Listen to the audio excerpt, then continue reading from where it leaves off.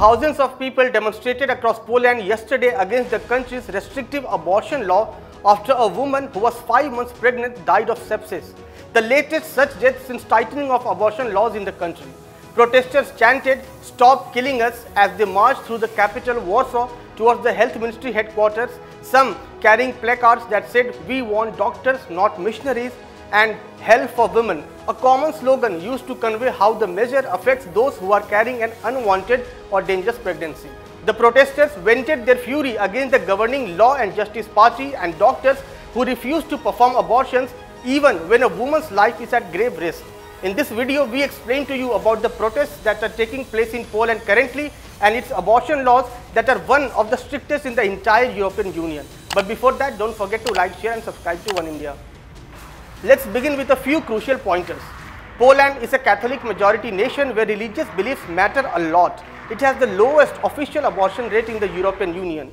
Together with Malta, it is one of only two European Union member states that has not legalized abortion on request or broad social grounds. Polish women seeking to terminate their pregnancies usually order abortion pills or travel to Germany, Czech Republic and other countries where the procedure is allowed. While self-administering abortion pills is still legal, helping someone else is not. Last month, a 33-year-old woman named Dorota Lalik was admitted to the John Paul II hospital in southern Poland after her waters broke in the 20th week of pregnancy. She was told to lie with her legs up as the medics hoped her fluids would be reconstituted. She soon developed sepsis and died three days later. A Polish ombudsman said on record that the hospital should have told her that terminating her pregnancy could have saved her life. This is not the first such instance in Poland. Few months back, two Polish hospitals had refused to terminate the pregnancy of an underage rape victim. That case had also sparked controversy over the country's restrictive legislation. Actually, there have been cases of several hospitals across Poland that have often refused to terminate pregnancies even when the women were in grave danger.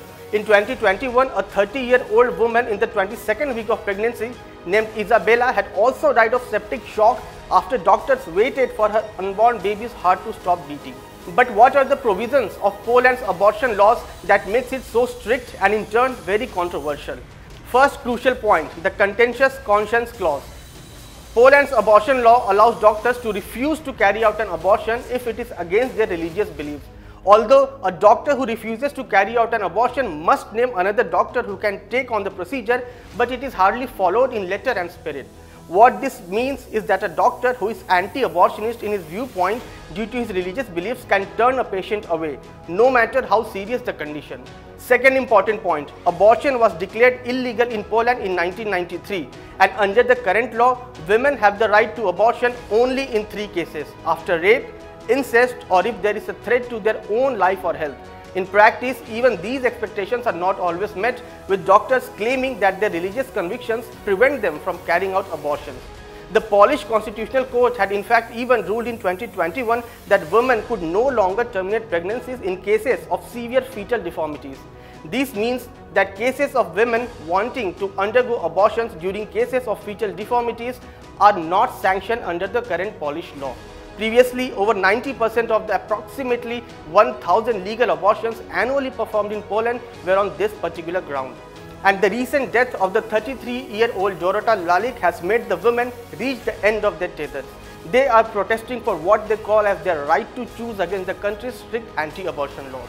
This was all about the abortion protests taking place in Poland currently. We hope you would like this new video. Thank you so much for watching.